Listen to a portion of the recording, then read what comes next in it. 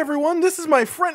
Are you sleeping? Five more minutes, Mom. I'm not your mom, I'm your trainer. School's canceled. No, it, it it isn't. We're just on a treasure hunt. Uh, shut up. You and I are going to have a talk later in private. Ladies, gentlemen, and Trainers of all ages, Pokemon Scarlet and Violet are finally released into the wild for everyone to play, and within the first early stretch of the game, one thing is just repeatedly said, relentlessly driven home into your skulls. Your path is your choice. There are plenty of ways to go, plenty of things to do, and while there are objectives, your journey is just entirely up to you. The NPCs keep saying it, and that's because it's true. As a result of that, if you want, you can get the evolved special version exclusive Pokemon quite early on. Specifically, I'm talking about Armarouge for Scarlet and Ceruledge for Violet. My personal gameplay is within Violet, but I will of course also explain the process for people who are playing Scarlet as well. We're going to go through this in a very specific order to let you drop out when you want, depending on just how much information you want to have before having this Pokemon for yourself. First up, we'll talk about where to find the base form of the Pokemon,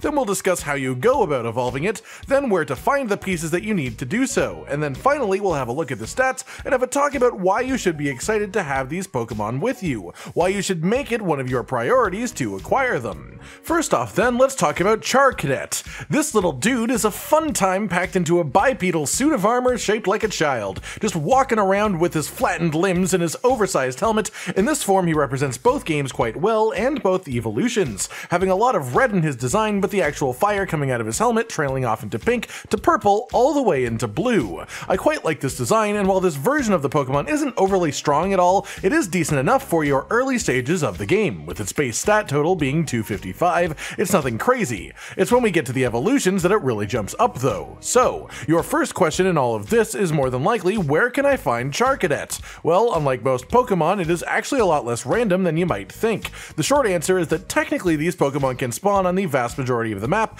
across the southern regions on both sides. The longer answer is that they have set spawns, a set number of these spawns, and once you fight the Charcadet located in one of these set spawns once, it won't come back again, so make sure you take advantage of the situation. There are three of these set spawns that I'm personally aware of, and I will be phrasing this in a way that explains how to get them as early into the game as possible. In other words, I'll be talking about their distance from Mesagoza, the first large town that you arrive at and where your journey truly begins. The fastest one of these that you can grab is right outside of the east gate of Mesagoza. Just walk over by the South Province Area 3 Poke Center over here, immediately west of this at this location that I've marked. You can just run over and you will find one of these Pokemon waiting around to be fought. If, however, your starting path led you at the west gate of Mesagoza instead, you can find another Charcadet spawn quite close to the town of Cortondo. North of this city, in this location I've marked, continue until you see this archway here, under which another Charcadet is waiting. The final spawn that I know of is once again on the eastern side over in Southern Province Area 3, but a little bit further in. From the Watchtower flight point, head immediately north to this point in the map where there is a little knob of sand before it turns into grassland once again, and in this specific corner you will find another Charcadet waiting to be encountered. All of these spawns will have your Charcadet in the range of level 15, and at this stage they are a relatively simple fight. They aren't particularly difficult to get to low health, but the thing about them to be wary of is they seem to be quite resistant to Pokeballs and being captured in general. It took me a good 4 or 5 throws, even at low health, to get one to stick with me, whereas most other Pokemon have been happy to accept their fate at 1 or 2. You belong to me. With that covered then, let's start talking about how to actually evolve these. It isn't quite as simple as just getting them to a certain level, but this also means that you can accomplish this evolution as early as you can meet the requirements, which are simply to use a specific item on your Charcadet. The item exclusive to Pokemon Scarlet, which turns them into an Armarouge, is called the Auspicious Armor, and the item exclusive to Pokemon Violet to turn them into Ceruledge is called the Malicious Armor. You get both of these items in the same way, regardless of which version of the game that you are playing, and that is by trading with a specific NPC located in the town of Zapapico in the northeast. The fastest route to get to this town from the start of the game is by going from Mesagoza's east gate over to Artazon, then to Levincia, and then head directly west from there to reach Zapapico. In the middle of this small town is a small fountain, in front of which is a regular-sized human willing to make a trade with you. In Scarlet, they will trade you for 10 Bronzor fragments, which are an item that drops every time you defeat a Bronzor.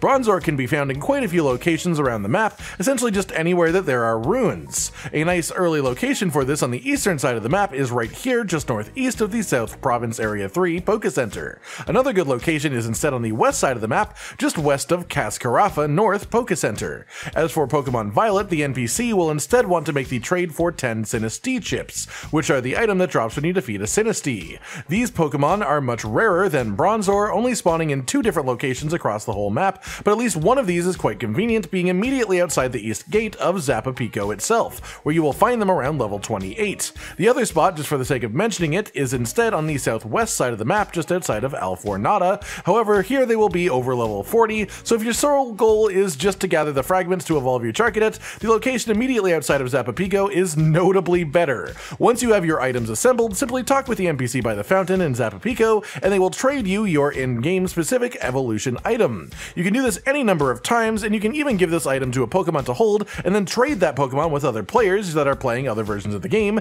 to let you use other versions exclusives if you want to. Once you have the item, simply go to it in your bag and use it on your Charcadet, and you will immediately see the evolution begin to its final form. My true form is small. With that, you have every bit of knowledge that you need to capture and evolve your own Charcadet. But how good is this to actually do? How valuable are they as Pokemon? Well, first off, aesthetically, both of these evolutions are absolutely badass, so it's hard to not want them even just from that standpoint alone. However, that said, they are just pretty strong Pokemon in general. They both have the same base stat total of 525, which is pretty exceptional, and they are both fire type. Fire is one of those types that is always good to have around, and so if you didn't pick Fuecoco as your starter, you've probably been looking for a good fire Pokemon anyways, and if so, it's right here. On top of that, Ceruledge is also part Ghost type, which just straight up makes it immune to normal and fighting moves, which is nothing to scoff at in the slightest, on top of leaning towards physical attack over special. And while Armarouge's partial psychic type doesn't give it any particularly fancy resistances,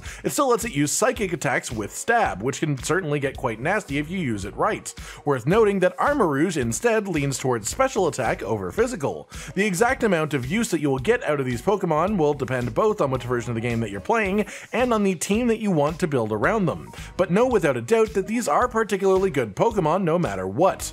Alright everyone, I hope you found this useful and enjoyed watching it as well. A full guide on Charcadet, where to find it, how to evolve it in both versions of the game, and why you should go out of your way to do so. Look forward to more Pokemon Scarlet and Violet videos coming out on the channel over the coming days, and of course make sure to let us know in the comments if you have any burning questions you need answered about the game, anything that you really want to know but are struggling to find out on your own. Like if you like the video, subscribe to the notification bell for more, and most importantly, ladies and gentlemen, until next time, stay sweet.